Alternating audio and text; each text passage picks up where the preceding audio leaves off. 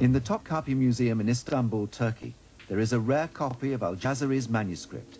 It was written in 1206 AD and contains within it blueprints of many of the components that are crucial to modern engineering. Al-Jazari, as his name says, comes from northern Iraq in the late 12th and the early 13th century. He was a very gifted engineer. Al-Jazari's world incorporated some of the hottest lands on Earth, and he would have been acutely aware of how essential water was to sustaining its people and its culture. He created a series of machines, each of which would help society not only survive, but thrive in the sometimes dangerously arid climate. Al-Jazari made huge advances in the development of mechanical technology in order to design his water-raising devices. What is fantastic is that many of his machines match the principles of today's devices exactly. He tried to take age-old standard technology for lifting water, for irrigation, and tried to improve them. Devices for raising water like the shaduf generally relied on animal or manpower to drive them. Al-Jazari removed the necessity for human, ox or horsepower by designing a set of fully automatic lifting machines that use the power of the water itself to drive the mechanisms.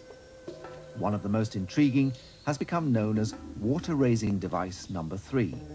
Until recently, it was thought that this complicated machine was an unrealized idea of Al-Jazari's that existed only as a concept. But in Damascus in Syria, a water wheel on the river Yazid seems to be actually based on Al-Jazari's design number three. It offers us a fascinating glimpse of his genius. Al-Jazari was really a gifted practitioner. He was not only writing in his tradition, but he was really building them. From its inauguration in the 13th century, this water wheel served the local community for over 700 years.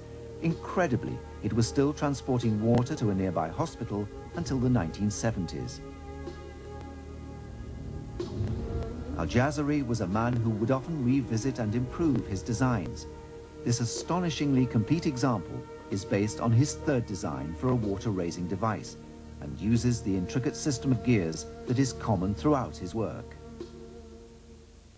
In his book, Al-Jazari mentions that this water-lifting device is designed to work by means of scoopers.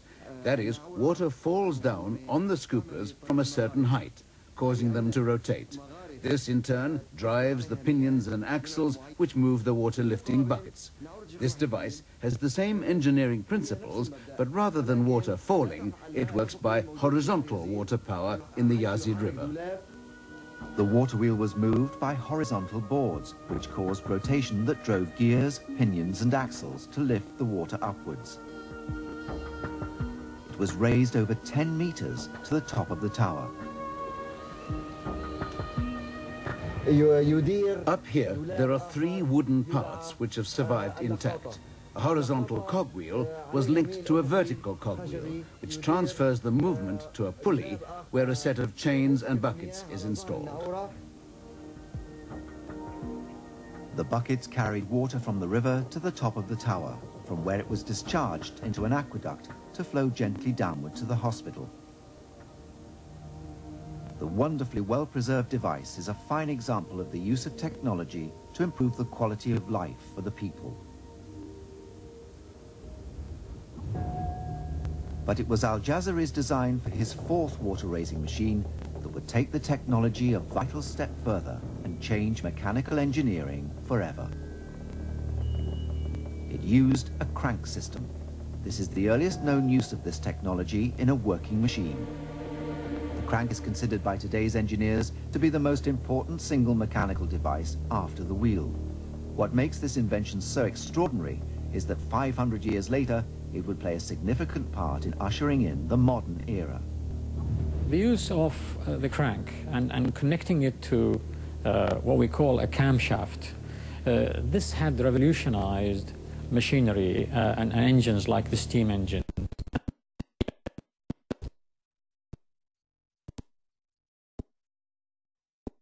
Into a reciprocating one. Hand-operated cranks had been understood for centuries, but the incorporation of a crank connecting rod system in a rotating machine represented a huge advance. Contemporary engineers who have studied Al-Jazari's design have observed that the horizontal axle of the machine is turned by gears and that the end of the crank slides in the hinged connecting rod, causing it to oscillate around its hinge, thus making the water bucket rise and fall.